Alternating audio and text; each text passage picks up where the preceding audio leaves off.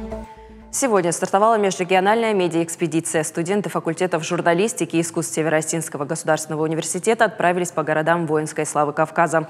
Вместе с ними заместитель министра по вопросам национальных отношений республики Александр Чернышков, деканы факультетов Фатима Хабалова и Эдуард Галазов, а также журналисты республиканских СМИ. Первый пункт – Малгобек. Дальше – Грозный.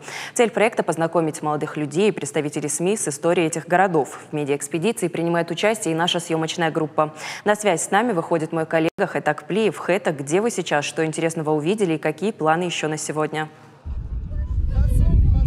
Эли, здравствуй! Мы из города Владикавказ выехали сегодня рано утром. Сейчас мы направляемся а, уже в Грозный. Это еще один город воинской славы. Указом президента 2000, от 2015 апреля от 2015 года в апреле.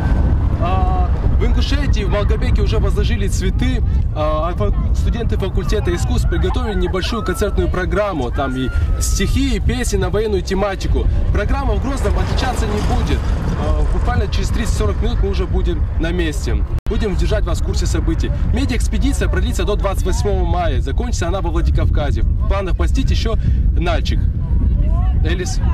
Спасибо, Хэтак.